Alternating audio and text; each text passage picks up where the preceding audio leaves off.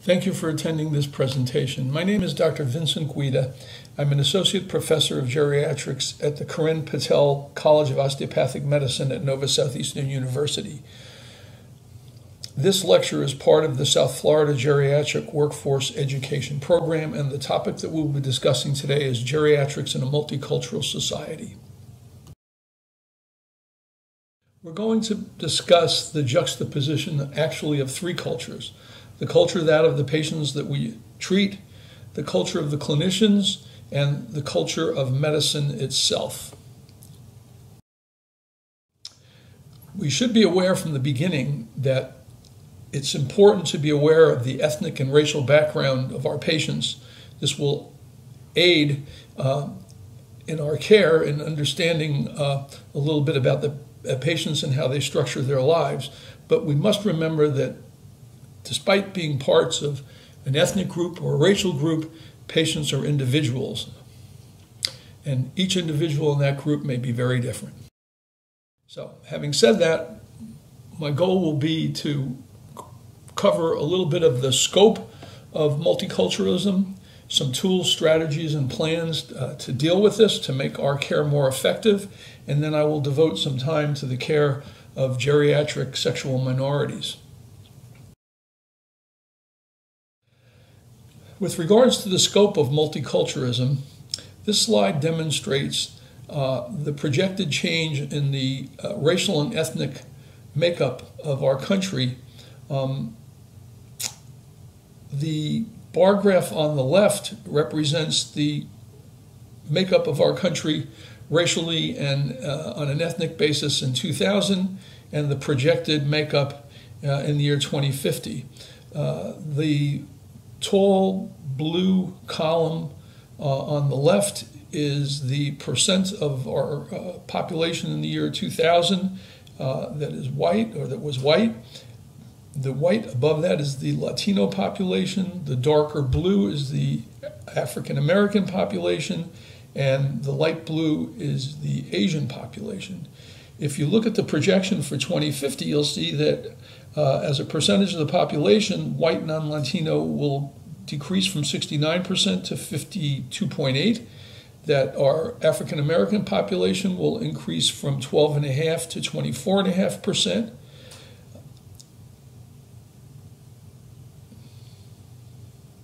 correction, I'm sorry, our Latino population will increase from 12.5 to 25%. Our African American population will increase slightly from 12.1% to 13.6%, and our Asian population on a percentage basis will increase dramatically from 3.7% to 8.2. Okay, when we speak of culture, uh, we're speaking about learned and understood, deeply rooted beliefs. Uh, and those beliefs encompass how people organize, relationships between gender, class, uh, friendships, uh, motivation, um, what motivates us, what, what methods do we um, try to achieve success uh, through, how, um, interpretation of our life events, and perception of ourself, our, our own self identity and respect. So all of the, all of these things are um, basically imprinted uh, within members uh, of a culture. Okay, so some of these uh, factors are fairly uh, obvious, uh, factors that, that create our diversity, things like religion, race, ethnicity, language, gender. Those are readily apparent to us. But underneath the surface, there are other issues. Um, within a, uh, a, culture or an ethnic group, how does age uh, affect how individuals interact? How does the educational status of individuals within that culture affect the way they interact? How does social standing affect the way individuals interact? How mobile are individuals within that society uh, to move uh, to different status groups? And then how is one's gender, one, one's sexual orientation affect uh, how that person uh, interacts with uh, his uh, peers within his cultural group. So all these factors uh, that, that, help to create diversity uh, are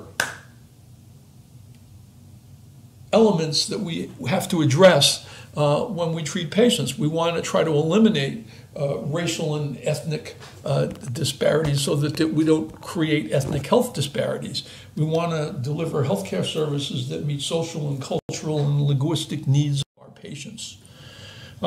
Uh, so certainly language is one of the most apparent differences. Um, it's estimated that um, approximately uh, 10% of the population, or 37 million adults, speak a language other than English as their primary language within the house, um, within their household.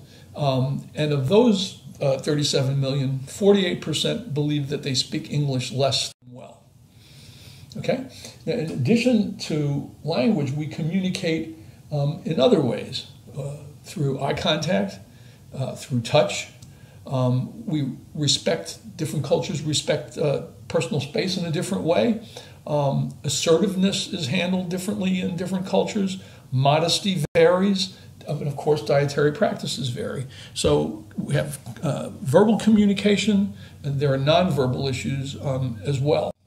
Okay, so why are these things important? Well, if we have verbal language barriers, it's going to be hard to communicate with patients in order to come to agreement on complex health decisions, um, understanding instructions, reading pill bottles, comprehending educational material that we provided to the patients to help them better understand their illnesses or uh, health problems, and something as simple as just completing our intake forms or, or just the routine paperwork that comes up uh, as we attempt to obtain health care. So, you know, clearly uh, our, our communication is, is vitally important. Okay, I think I'm back on track. Okay, so what are some strategies? Well, first of all, um, we can look within ourselves a little bit and look at our own social cultural group and, and see what, what stigmas uh, that we've been, been ingrained with. Um, a little bit of self reflection on our part with regards to our own personal biases and prejudices. This, this, this is a good place uh, to start. Okay, we need to think about how our own perceptions um, differ from those of people from other cultural backgrounds. We need to recognize that we've sort of been pre programmed, and we need to recognize that the programming of other cultures may not. So we need to think about what our own attitudes are toward adults um, who might come from a lower socioeconomic status, who have limited English or minimal health literacy, um, or who are immigrants with an accent who are, are, difficult to understand. Something, something as simple as that um, is important. We need to, to recognize what our own biases are. So once we, once we do recognize that, we, we, need, we need to keep an, an open mind, an open mind about how others might look at um, their interaction with us, their interaction with their illness, their interaction with, with the, the medical culture. So we, we need to ask. It's not possible for us to know how every culture and every society looks uh, looks at health. It, it, would be daunting. So we, we can ask. We can ask regarding beliefs that the patients might have as to causation of their illness, to prevention, to intervention, to treatment. Um, some, some societies believe that illness is brought down upon them because of something bad that they did. So this causation piece might be something very important to address. Uh, prevention, uh, intervention. Um, some societies um, uh, uh clearly um, rely much more heavily than ours does on herbal remedies, um, uh, folk cures, um, healers, faith healers, etc. So we need to have an understanding of how that impacts the patient's interaction with their medical care. Okay, so again, we, we can't possibly know everything about every culture, so it's simple. What you don't know, you invite an explanation. You ask. Asking tends to build trust. Um, patients will sense if you have an interest in them that you truly are interested in helping them, this is going to help to build trust. So, what are some of the some of the strategies to build trust? Well, we've just discussed curiosity, certainly empathy, uh, humility, Um, this is not a time uh, to interact with patients and be a strict authoritarian. Um, you just don't know the territory. You need to be open minded. Humility is, is probably the key word there. Uh, inquiry, reflection. Uh, all of these uh, qualities will help you um, to attain a, a, better outcome. Okay, um, we can do some other things. Our healthcare organizations can help us. We have social workers um, and, and uh, folks who are themselves from the same culture uh, that work within the hospital. Um, so that tapping into these resources will certainly help us in, in dealing uh, with patients, especially those uh, of you who are uh, embarking on your medical careers and um, or practicing within within hospitals where you have uh, this type of support. Um, your organization may have interpreters. Um, because of your location, uh, the, the organization may well have minority staff of the, the same minority of the patients you're caring for. This will certainly be a great help. Um, you know, clearly uh, the location and hours of your healthcare facility um, will, will certainly help. Obviously, if you're in a, a location where the majority of the uh, residents uh, that uh, utilize your services are in a service industry, for example, restaurant work, food preparation, they may work at night.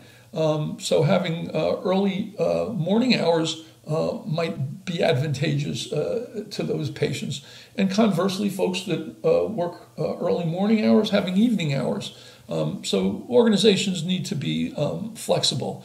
Um, having your organization incorporate cultural um, specific attitudes and values would likewise be helpful. Coordinating with traditional leaders in the community, uh, and partnering, partnering with uh, community health services. Okay, um, I'd like to talk a little bit about um, sexual minorities. So this would be LB, LBGTQ um, uh, patients, and specifically, to talk a little bit about geriatric patients.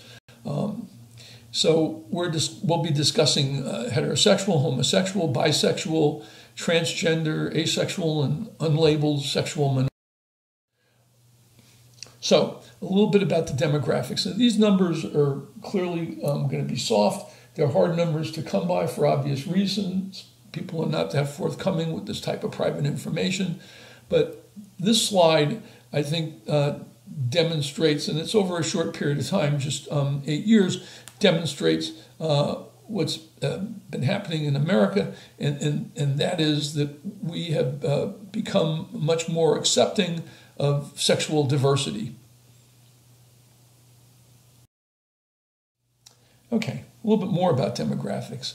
So, um, it was estimated that in the year 2000, there were 1 to 2.8 million LGBTQ um, elderly 65 and older, it's projected that there um, would probably be two to six million by the year 2030. Look at the spread, two to six million.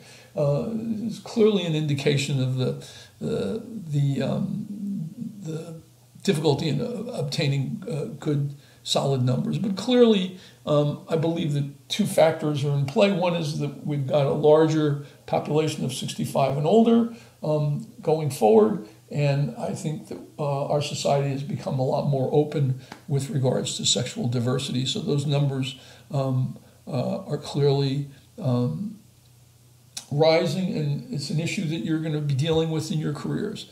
Um, the LGBTQ community is racially diverse. Um, economically, um, these um, individuals are economically similar to heterosexuals. However, they're more likely to live in urban areas uh, compared uh, to homosexuals. Okay, um, a little bit more about the demographics. So, um, th- the LGBTQ geriatric population is less likely to be partnered, um, 20% versus 50% of all elders. They're more likely to live alone. Well, clearly, if you're not partnered, you're going to be um, uh, perhaps uh, living alone. So, 65 to 75 percent of LGBTQ are believed to live alone, as opposed to 36 percent um, of uh, all the elderly. Um, there's no reliable data that. Uh, sorry. Um, clearly, if they're um, closeted, they're going to have unrecognized needs. They will have real or anticipated fear of discrimination, both from the staff, other residents, or indeed their uh, physician caregivers. They will fear disclosure. And by virtue of uh, being in, in long term care facilities, the loss of their network or chosen family um, will certainly uh, impact their health. All right, um, surveys of LGBT uh, adults um, perceive the following 73% um, believe that discrimination exists, 60% believe uh, that they do not have equal access to social uh, and health services, 34% believe um, that uh, it would be best for them to hide their orientation. Okay. Some surveys of caregivers 23% believe that the healthcare system um, somewhat or very often treats LGBT uh, patients unfairly. This was a Kaiser study um, looking at physicians in the year uh, 2002. Um, a New York area aging um, agency on aging survey, 46% uh, reported LGBT elderly not welcome at senior centers. Uh, a survey of social workers, 52%, this is in 1996, reported intolerant or condemning attitude toward nursing home staff, toward lesbians and gay men. Now, clearly, this study was a good 20 years ago. Hopefully, uh, these numbers are less, but recognize that uh, these attitudes persist. So, what can we do to, to basically ameliorate uh, some of these problems? Well, first of all, when we're interacting with our patients, we can avoid making assumptions about the gender of the patient's partner, even if the patient in conversation says, I'm married. We can um, not assume that patients' sexuality is fixed, absolute, or lifelong. Um, I, I, made this point earlier uh, on the slide where we discussed uh, interactions with children and grandchildren. Um, we should um, recognize that being gay, lesbian, or bisexual um, is a difficult issue. We can't assume that uh, even if the patient comfortably uh, discusses this with us, we can't we can't assume that this does not create stress. Um, we need to be careful about um, outing these patients uh, in our care. That's that's not our prerogative. We need to respect their privacy. Um, and and uh, finally, we need to recognize that older people continue to have an active sex life, um, and, and, that um, that is important, obviously, in our things. I'm sorry, uh, again, a little technical glitch here. Things that we can do to let our patients know that um, we're open to discussions, and, and, and that is, first of all, um, let individuals know that that that uh, our practice um, um, is open to the LGBT community. Um, make yourself available to referral programs.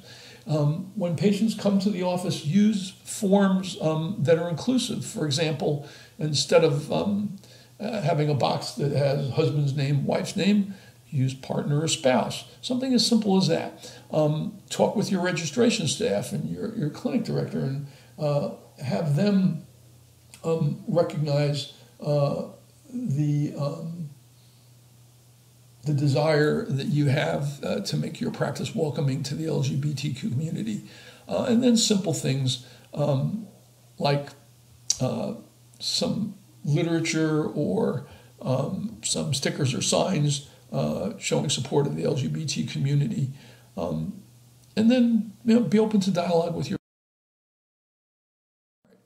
so again, with with regards to uh, our desire to be culturally um, competent, so we want to be aware, we want to be open, we want to um, have um, our support available, and we want to advocate. All right, so th- this is a slide that I particularly um, like. Um, interestingly, it's it's provided um, uh, by the Doctors Company. Doctors Company is a medical malpractice company. It's actually an excellent one there. Uh, they defend their doctors well. Um, uh, they're uh, they're very receptive to educating physicians on how to avoid malpractice, and, and they've come up with these three little questions that you should think about at the end of a patient interaction. So one is have the patient verbalize to you what their main problem is. Uh, make sure they have an understanding of what, what their issues are. Um, ask them, based on the information that you've given them, do they understand what they need to do, what they need to follow through on in order to work through the problem? And then finally, why it's important that they do, do those things. Why is it important that they follow through and complete those? Okay? I think if you do this, regardless of whether you're dealing with patients from your own ethnicity, your own culture, um, uh, this is going to help you. It's definitely going to help you when you're dealing with a little bit more difficult communication. Uh, at the end of, of, this discussion, what I'd like you to do is to um, use uh, the, your scanners, scan uh, the survey um, so that we can get some of your feedback. I'd like to thank you for your interest uh, and your attention.